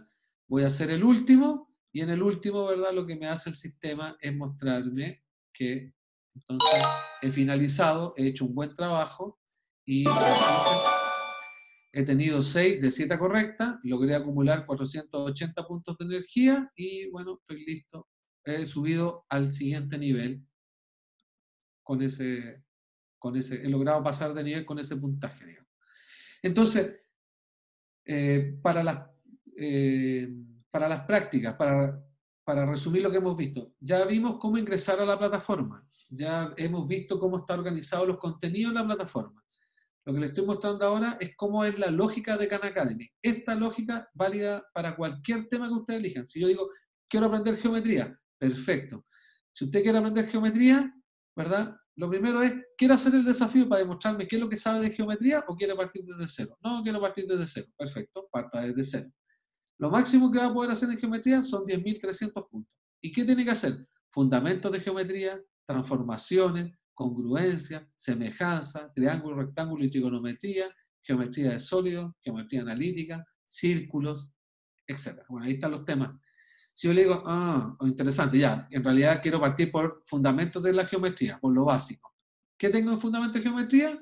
Como les mostraba adelante. Bueno, si usted quiere aprender fundamentos de geometría, tiene todos estos videos sobre Euclides, sobre términos de clasificación geométrica, las rectas, los segmentos, los rayos, etc. Eh, y tiene todas estas prácticas para hacer de geometría. ¿ya? Entonces, ah, mira, en realidad yo de fundamento de geometría quiero practicar ángulos. ¿ya? Y lo que quiero hacer es medir ángulos con un transportador. Entonces, bueno, acá tengo el video para medir ángulos con un transportador o puedo ir a hacer las prácticas para medir ángulos con un, eh, con un transportador. Y entonces, todo, el, el sitio está bajo la misma lógica. Te va mostrando temas, para esos temas una ruta lógica para aprender el tema y dentro de esa ruta lógica tienes videos, guías o prácticas sobre el, el, tema específico para poder desarrollar ese aprendizaje. Y cuando estás en la práctica, en este caso me dice, ¿quieres aprender a medir ángulos? Bueno, vas a tener que hacer cuatro preguntas correctas para poder eh, demostrar qué bien lo haces. Entonces aquí yo le digo, vamos, y entonces aquí me dice, eh, mide eh, el ángulo en, grados, ¿verdad? Entonces aquí me está pidiendo que le ingrese el dato de cuántos grados hay ahí, y si no me equivoco, esos son 105 grados, compruebo y perfecto, bien la, la primera pregunta. Entonces acá ahora me dice, mide este ángulo y entonces eh, acá voy a ingresar, tengo 80 eh, y acá entonces tengo 55 y termino con estos ángulos ¿cuánto ángulo, qué, eh, qué, medida de ángulo es, esa que estoy viendo ahí? ¿Verdad? Y son 20 grados. No, mejor voy a equivocar. le voy a decir aquí, oh, me pillaste, esta no la entiendo, entonces voy a pedir una pista. Y aquí en una pista, ¿verdad? Lo que yo les decía antes, todo, ¿verdad? Todos los, todos los ejercicios, cualquier ejercicio tiene la misma solución. Dice, mira, acá tienes todos los videos que te van a ayudar a conocer y a entender cómo resolver este problema, y si no, te vas a la pista y tienes la solución paso a paso. Entonces acá primero, ¿verdad? Te da, el primer paso es que la medida de un ángulo, ¿verdad? Eh, te, explica eh, eh, cómo se hace, después te va diciendo, entonces mira, fíjate, un brazo está en 125 y el otro está en 145 grados, cuántos grados hay entre 125 y 145, ¿verdad? Hacemos la operación 20 grados, por lo tanto el ángulo mide 20 grados. Esa es tu solución y, ahí estuvo el ejercicio resuelto paso a paso. Eso para, entonces ahí lo compruebo, está correcto, terminé, estoy familiarizado, hice 3 de 4 correctas, tengo 325 puntos, estoy bien, puedo pasar al siguiente eh, ejercicio y eh, bueno, y acá, en este caso... Jaime, hay, sí. Hay otra pregunta de Valerie Medel, que dice que si el estudiante se equivoca, ¿se muestra la solución? Sí, porque él le puede pedir la... De hecho, mira, que, buena pregunta. Gracias, Valerie, por tu pregunta. Eh, voy a entrar a otro, eh, a otro ejercicio. Voy a entrar a tipos de ángulos, voy a mirar tipos de ángulos. efectivamente, el sistema no te deja avanzar hasta que no ingresa la respuesta correcta. ¿ya? Entonces, por ejemplo, aquí me dice, el siguiente ángulo es un ángulo agudo, un ángulo recto, un ángulo obtuso o un ángulo llano. ¿ya? Eh, entonces, wow, eh, no sé, voy a ponerle acá que es un ángulo recto. Compruebo, ¿verdad? Me dice, no, tengo que intentarlo de. No me va a dejar avanzar hasta conseguir la respuesta correcta. Si yo no sé la respuesta correcta, la única forma que tengo de obtenerla es pidiendo la pista, revisando las pistas. Entonces, efectivamente, el sistema siempre te va a pedir que ingreses la respuesta correcta para poder seguir. Ya sea que tú la conoces o ya sea que pediste una pista. En este caso, ¿verdad? Eh, eh, obtengo la respuesta correcta porque el sistema me dio la pista y me dijo que ¿verdad? Eh, eh, la respuesta correcta es un ángulo obtuso. Entonces, marco la alternativa ángulo obtuso, nuevamente me dice, bien, vamos a la siguiente. Pero no me va a dejar avanzar si no tengo la respuesta correcta. Y esa respuesta correcta la obtengo ya sea porque la conozco o porque pedí ayuda, pedí una pista. Bueno, eh, la idea era terminar, haciendo un resumen de lo que hemos visto hoy día. La idea de hoy día era mostrarle Khan Academy como estudiante, para que ustedes practiquen, conozcan, prueben y usen la plataforma como estudiante. ¿ya? Hemos visto eh, el menú principal de Khan, que es muy simple, donde están todos los contenidos, o puedo buscar un contenido específico. ¿verdad? Aquí están todos los contenidos, o puedo buscar un contenido específico de algún tema que yo quiera conocer. Eh, bueno, por supuesto, nos vimos cómo registrarnos en Khan Academy, y hemos visto también que eh, cualquiera sea el tema que yo elija trabajar, por ejemplo, álgebra, geometría, preálgebra, eh, lo que sea, eh, voy a tener una ruta lógica y dentro de esa ruta lógica siempre voy a encontrar ¿verdad? una serie de temas o subtemas donde para poder conocer sobre ese, sobre ese concepto, sobre ese contenido, voy a tener videos, voy a tener guías y voy a tener prácticas. Eso es cualquier tema de CAN que ustedes quieran conocer. Y dentro de esos temas, ustedes además, ¿verdad? En el caso de las prácticas, tienen la solución paso a paso de cada uno de los ejercicios. Y como les decía, eso en un entorno gamificado, porque si se dieron cuenta, fui ganando puntos, fui ganando medallas, fui ganando eh, algunos reconocimientos, que no es un videojuego, por supuesto, no es tan entretenido como un videojuego, porque estamos aprendiendo matemáticas, aquí no se pierde el foco, que el foco es aprender matemáticas, pero hacerlo de una manera distinta. Solo quiero terminar con algo que, eh, que es importante porque es lo que vamos a dejar enunciado, lo que vamos a ver para la próxima clase. Lo que hemos mostrado hasta ahora es Khan como estudiante. ¿Cómo uso Khan Academy como profesor?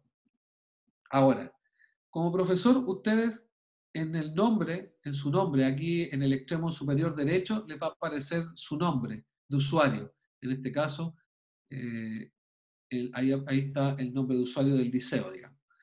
Entonces, en este nombre de usuario se despliega un menú en el cual ustedes pueden trabajar como estudiante, que es como yo estaba viendo la plataforma ahora, o me puedo ir al panel del profesor. Y entonces ustedes se van a ir al panel del profesor para poder empezar a usar la plataforma como docente. Y en el panel del profesor es bastante simple el, el- trabajo. Eh, a ustedes no les va a aparecer nada aquí, porque cuando ingresen por primera vez no tienen nada, no tienen ningún curso creado. Y como no tienen nada, entonces ustedes le van a decir que estando aquí en clases, en la pestaña clases, yo voy a crear una clase, voy a crear un curso. Y entonces voy a crear, por ejemplo, el segundo medio A. Para los que usan Google Classroom y tienen a sus alumnos en Google Classroom, tienen la posibilidad de importar automáticamente todos sus alumnos a Khan Academy. Por lo tanto, no tienen que crearle cuenta a sus alumnos, sino que los alumnos trabajan con la misma cuenta que tienen en el Classroom, la trabajan acá. ¿ya? Así que eso sí tienen Google Classroom. Si no, crean el curso, segundo medio A. Después que crean el curso, ¿verdad? ¿Qué temas van a trabajar con el segundo medio A? Voy a trabajar con ellos álgebra 1 y trigonometría. Esos dos temas voy a trabajar con el segundo medio A. Siguiente. Y ahora entonces puedo sumar a mis alumnos del Google Classroom a mi clase de Khan y así los chicos van a tener que entrar con, su, con la cuenta que entran al Google Classroom, van a entrar a Khan Academy, se evitan crear cuentas, les pueden mandar un enlace a sus estudiantes para que eh, ellos se asocien de manera eh, independiente a Khan.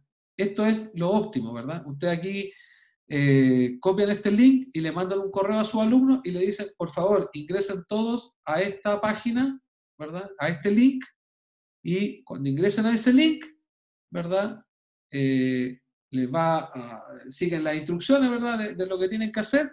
Eh, van a entrar a una sala, a un aula, que es eh, la del curso, y ahí van a tener instrucciones van a tener una guía. Pueden mandar el link y los alumnos se asocian ellos con sus cuentas a, su aula. Oh, perdón, me equivoqué acá.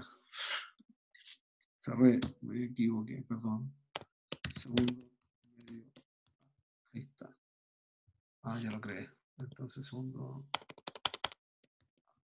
Ahí sí. Entonces era, eh, dijimos álgebra 1 y trigonometría. Entonces, eh, invito por Classroom, comparto el link, o la tercera forma es crear las cuentas para sus alumnos. A ver, recomendación aquí. Yo lo que recomiendo es que ustedes le creen la cuenta a sus alumnos. Porque cuando, por lo general nos pasa que cuando los profesores le dicen a los alumnos, asóciense a Khan Academy, aquí va el link, ¿verdad? Eh, como es un proceso voluntario, personal, hay alumnos que se asocian y otros que no se asocian. Entonces, eh, eh, después es, un- es un- una complicación tener que estarle pidiendo a los alumnos a cada rato, oye, usted todavía no se asocia a Khan Academy, todavía no se registra en Khan Academy, etc. En cambio, si ustedes le crean las cuentas, automáticamente el sistema, ¿verdad? Eh, eh, les va a generar la cuenta de sus estudiantes y les va a dar un usuario y una contraseña y con eso el alumno queda automáticamente registrado en CAN y después entonces si no entra ya es responsabilidad del estudiante. Por ejemplo, acá, supongamos que vamos a crear... Sí, María Paz Núñez había preguntado si en el fondo cualquier estudiante puede ingresar o necesariamente tiene que estar relacionado con un profesor. Eh, no, cualquier alumno puede ingresar. También un alumno puede ingresar por su propia cuenta, sin ningún profesor asociado y trabajar solo con la plataforma. Sí, se puede. Entonces, acá, si se fijan, para crear la cuenta de los alumnos, ustedes van ingresando los nombres de los estudiantes, el sistema le va generando automáticamente un nombre de usuario, van creando tantos estudiantes como quieran, ¿verdad?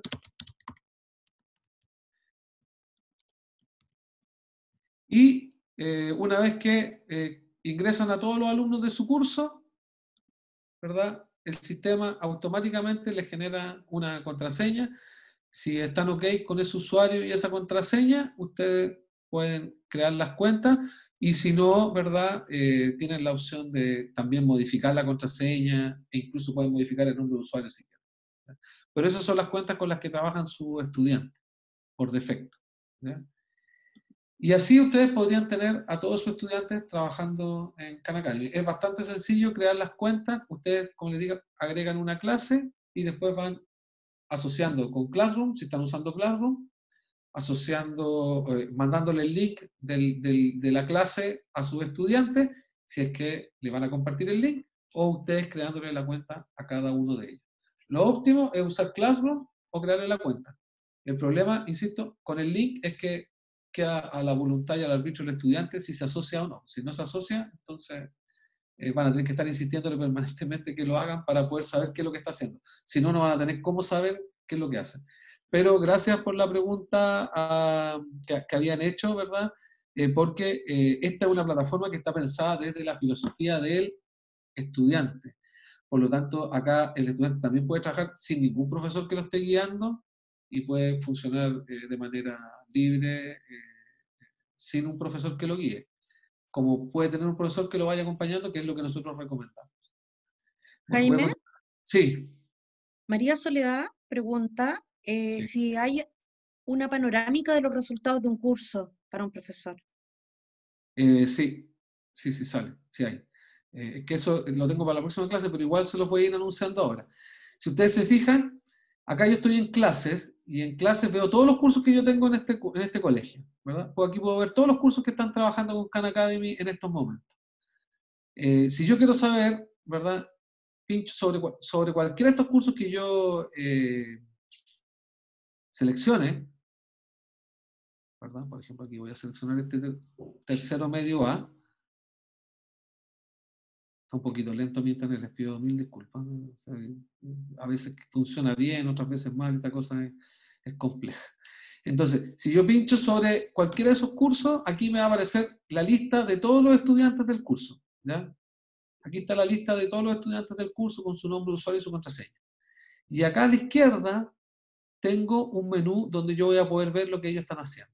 Entonces, si por ejemplo yo quiero saber resumen de actividad, o sea, qué es lo que está haciendo en general cada uno de estos estudiantes, yo pincho sobre resumen de actividad y en un periodo de tiempo determinado, por ejemplo, qué es lo que han hecho los últimos 30 días, ¿verdad? El sistema me muestra que Aguilera no ha hecho nada, Almuna tampoco, pero Cáceres sí, Casanova también, Díaz, ¿verdad? Lleva 264 minutos trabajado, ha, ha, mejorado en siete habilidades, en una habilidad no ha progresado nada. Casanova lleva 232 minutos, ha mejorado 332 habilidades. Aquí tú puedes hacer el seguimiento de lo que ha hecho cada uno de los estudiantes. Ojo que aquí estamos viendo un periodo específico de tiempo.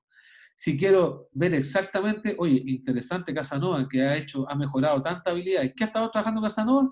Pincho sobre Casanova y me va a mostrar entonces todo lo que ha hecho Casanova. Mira, todo esto ha estado haciendo este alumno, El 24 de julio, el 19 de julio, el 17 de julio, el 15 de julio, el 10 de julio, en estos horarios que tú le diste tarea, él ha estado trabajando en todos estos temas, lo ha completado, cuánto intento hizo, qué porcentaje de logro tiene sobre estos temas. Entonces, esto es de las tareas que tú le asignaste como profesor. Incluso si tú quieres saber, ah, mira, interesante, estuvo trabajando desviación estándar de una población. Pincha sobre el 100%, tú puedes ver incluso, bueno, es- esto, esto es algo para la próxima sesión en todo caso, porque esto es ver la plataforma como, como profe. Uno tiene en CAN la métrica de absolutamente todo lo que hizo el estudiante. Entonces yo aquí puedo ir viendo qué ejercicio hizo este alumno, qué contestó en cada uno de los ejercicios, de manera de ver, por ejemplo, si se equivocó, en este caso respondió todo bien, porque acá me va indicando que la pregunta 1 la contestó bien, la 2 la contestó bien.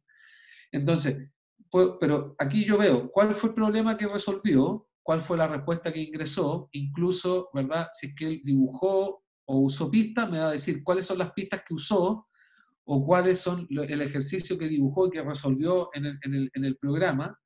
Y eh, bueno, y entonces tengo la métrica de absolutamente todo lo que el alumno hizo. Entonces yo me puedo dar cuenta, por ejemplo, si el alumno está teniendo problemas porque no está entendiendo lo que está leyendo o porque a lo mejor no es que lo entienda, sino que eh, eh, tiene un problema conceptual o un problema de operación y, les permite hacer un análisis. Esta, eh, perdón, estábamos acá en resumen de la actividad, que no me quiero adelantar de la próxima clase, pero hay, hay, varias vistas de cómo hacerle seguimiento a los alumnos. Aquí lo que estamos viendo, como les digo, es resumen de actividad de los últimos tres días eh, perdón, de los últimos 30 eh, días de cada uno de los estudiantes. Y acá yo lo puedo ver por actividad, lo que han hecho en términos generales, y acá el curso, y acá lo puedo ver por habilidad, que han estado trabajando. Entonces acá yo, por ejemplo, puedo ver, ¿verdad? Como digo, hay dos vistas por actividad, en los minutos y la habilidad que ha estado trabajando cada uno, y por, por habilidad, entonces yo aquí elijo la habilidad. Por ejemplo, han estado trabajando en geometría básica, sí, y acá entonces puedo ir pinchando y puedo ir mirando qué es lo que han hecho. ¿verdad? Han estado viendo identificación de puntos, rectas, segmentos. Todo esto eh, eh, son los resultados del grupo, ¿verdad? Vale decir, tengo, en este grupo tengo cinco alumnos que lo están intentando, siete que están familiarizados, 15 que son competentes y dos que lo dominaron y ocho que no han hecho nada. ¿Quiénes son? Pincho sobre la barra y ahí me dice. Entonces, ah, mira, eh, Aguilera, Almuna, Cáceres, Chávez, Fernández, Riquelme y Sarmiento no han hecho nada sobre este ejercicio. Eh, en cambio, Díaz y Vivanco ya lo tienen dominado. Entonces, les va mostrando, le pueden ir haciendo seguimiento a todo lo que los alumnos están haciendo, de lo que ustedes les han recomendado y lo que ellos han hecho de manera libre. Y si a estos alumnos no han hecho nada, ustedes le quieren mandar un mensaje, entonces ustedes van ahí y le asignan la habilidad. Y bueno, pero eso, eso sí que no me voy a meter porque eso se lo voy a mostrar la próxima clase porque ya estamos en la hora, no estamos pasados de hecho. Así que, sorry.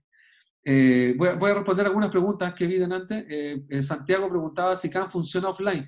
Sí, Santiago, hay una opción de CAN offline que se llama CAN Lite. ¿ya? Tendrías que buscarla e instalarla en tu computador. es pesada, sí, al menos 10 gigas pesa, porque te baja todos los videos, todos los ejercicios, todo no es tampoco tan atractiva como la versión online. Tiene menos funcionalidades en términos de gamificación. Y lo otro, Santiago, que es importante, bueno, y para todos de la versión offline, es que no se puede después hacer seguimiento a los estudiantes. ¿ya? Ese es el problema. Yo puedo usar CAN, el estudiante puede usar CAN, pero no tengo cómo saber qué es lo que está haciendo, porque al ser offline no hay eh, reportería del trabajo. Entonces, eh, se pierde un poco eso de la, de, versus la versión eh, online. Pero existe la versión offline y existe, como te digo, la posibilidad de trabajar con los ejercicios, los temas todos. Eh, Bien, excelente Susana, que ya le creó la cuenta a sus estudiantes. Ya, todo lo del profesor no lo puede hacer. Recuerden que para activar el panel del profesor, ustedes van a ir al nombre de usuario, aquí les va a aparecer una lista de eh, en el menú donde hay una opción que dice panel de profesor. Esa es la opción que tienen que activar. ¿ya? O no me acuerdo si cuando uno ingresa por primera vez puede que tenga otro, aparezca con otro nombre, pero algo de, eh, panel de profesor le, aparece, o configurar como profesor, etc. Tienen que tener ojo con eso, porque eh, esa es la forma para entrar a mirar todo lo que estamos viendo ahora. Lo importante sí es que se hayan registrado como profesor. Eso es muy importante, ¿eh? que estén registrados como profesor. Porque si entraron como estudiantes, entonces obviamente no les da la opción de mirar el panel de profesor. Tienen que haber ingresado con la opción de profesor. Lo que pasa es que la opción de profesor te permite trabajar como estudiante y como profesor. En cambio, la versión de estudiante solo te permite trabajar como estudiante.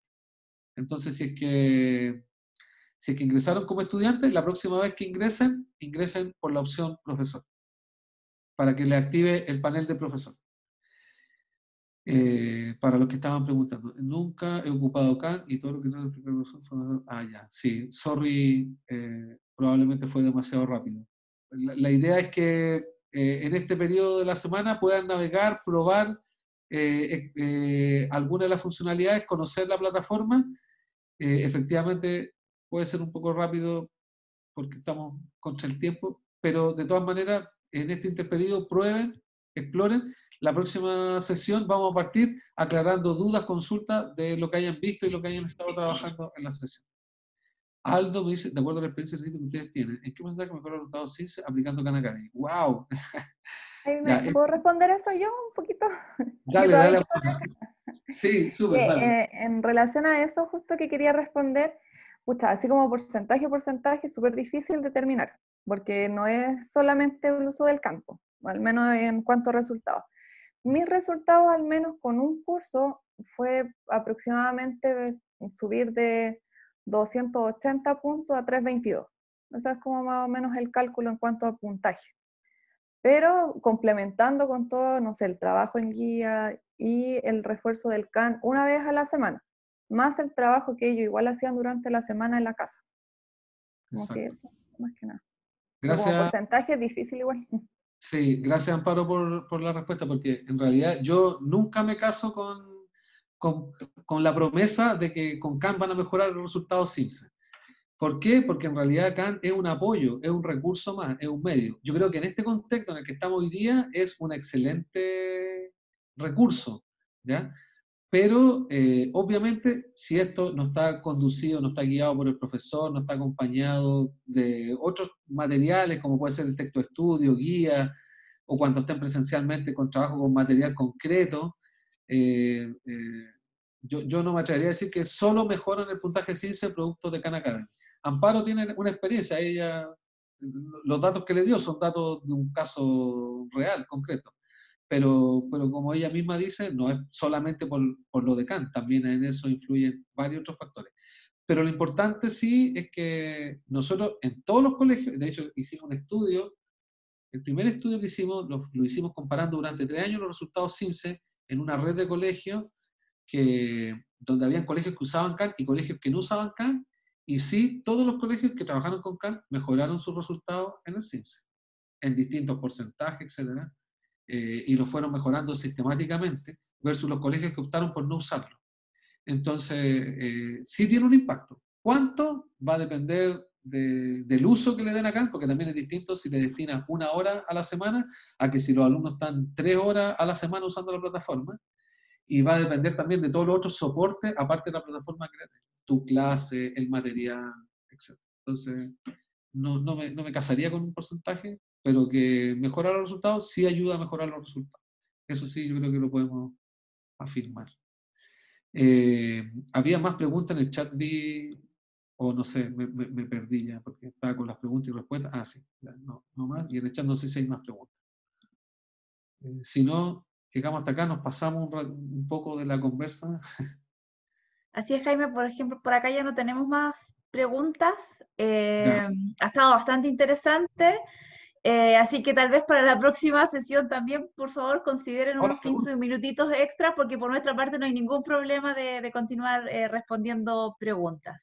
El próximo lunes ya les va a llegar el link para conectarse a la segunda sesión, así que los esperamos. Y también les comento que la biblioteca virtual de la Fundación Ida Razabar, que les estoy colocando acá el link, vamos a subir la presentación y el video también para que puedan repasar esta sesión y puedan ir activando sus cuentas, así la próxima sesión podemos revisar cómo les ha ido. Así que nos despedimos, Jaime, Amparo, muchas gracias por acompañarnos, Pilar también, y nos vemos el próximo martes. Vale, gracias a todos. Y ahí Mariana preguntaba cómo se puede eliminar una clase, porque seguramente estuvo practicando y creó una clase en su cuenta, eh, ubicándote sobre la misma opción de las cuentas del profesor eh, Mariana, ¿verdad? Cuando te aparece la lista de clases, ¿verdad? Eh, aquí, aquí lo voy a mostrar. Perdón que me, que me extienda ya para, para los que siguen, siguen la transmisión. ¿verdad? problema, Cuando que se queden solamente los, los- los interesados en Los los quieran consulta, dilucidar la duda, lo que quieran dilucidar los la que duda. tienen la duda. Sí, sí, sí. Entonces, acá, por ejemplo, yo de hecho le creé una, eh, una clase que tiene cero estudiantes a, esta, a- este grupo, ¿verdad? Entonces, tú te ubicas sobre la, la clase y, eh, eh, y en la, eh, y en la, eh, en la opción del, del curso eh, lo, va, lo va a poder eliminar. Es que, no tengo alumno, entonces acá configuración. Configuración, ¿verdad? Entonces, eh, acá dice eliminar esta clase. Entrando a la clase, en configuración, tienes la opción eliminar esta clase. Ahí la puedes borrar. Y así entonces, ya esa clase que yo creé ahora eh, desaparece, ya no está disponible. De hecho, la creé dos veces porque acá está de nuevo el segundo medio A con cero estudiantes. Ingreso a la clase, voy a configuración y al final le digo eliminar esta clase. Y así la puedes eliminar. Ahí está la respuesta que, que, la colega había hecho recién para eliminar la clase eh, eh, Mariana. Así que espero que te haya servido la respuesta.